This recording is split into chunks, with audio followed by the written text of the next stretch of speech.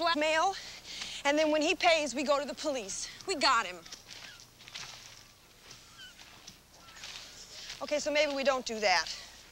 Alex admitted he might try to talk us out of that, but whatever, it's up to me because she was my sister. Okay, let me say something. And he's got to pay. Wait, let He's me say let me say something, all right? Let's say you are right, okay? You're not right. Let's say you are, though. Look, you shouldn't be worried about blackmail, sweetheart. That's not your problem. Your problem is your ass, because if you're right and you mess with this guy, you're gonna wind up nailed to the mast of a leaky boat. If you're right, I'd be careful. You know, very, very careful. Sure. Sure.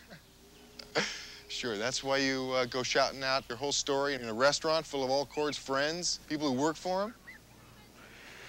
Well, uh, actually, Rich, you know, uh, I'd say that you're the one that ought to be very, very careful, not us. You're the witness, remember? That's right. Your fantasy, my ass. All right, so we'll be more careful. But he can't get away with it. Oh, no, of course not. The forces of good. little blackmail, little perjury. You can all retire to a tropical isle, live in luxury. Hold it, Bone! You sanctimonious bore. Who the hell are you, anyway, huh? The fastest dick on the beach?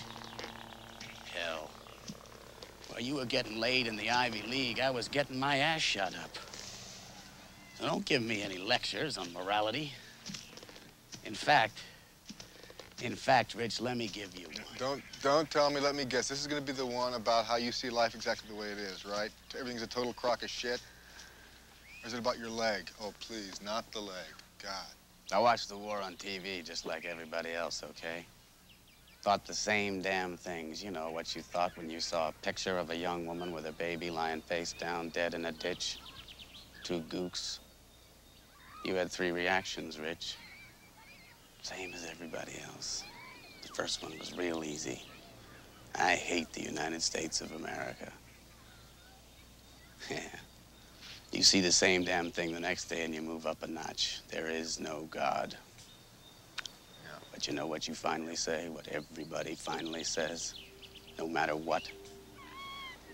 I'm hungry. I'm hungry, Rich.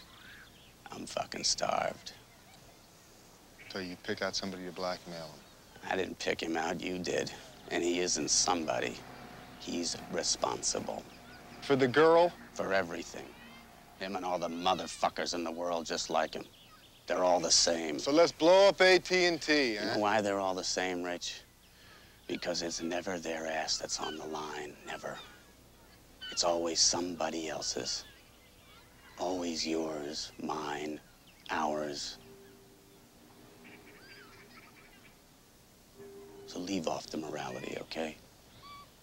And don't write me off as a money-grubbing bastard altogether. Okay.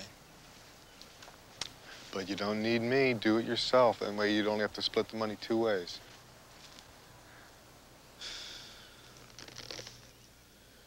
It's like trying to seduce a eunuch. Did they show you Vicky's body? Oh, I just wondered. 'Cause I thought maybe if they had, you'd be with us on this. Could be.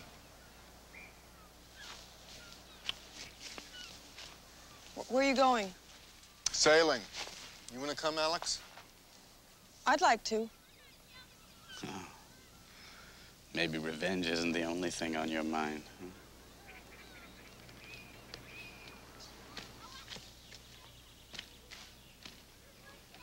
Have fun, girls.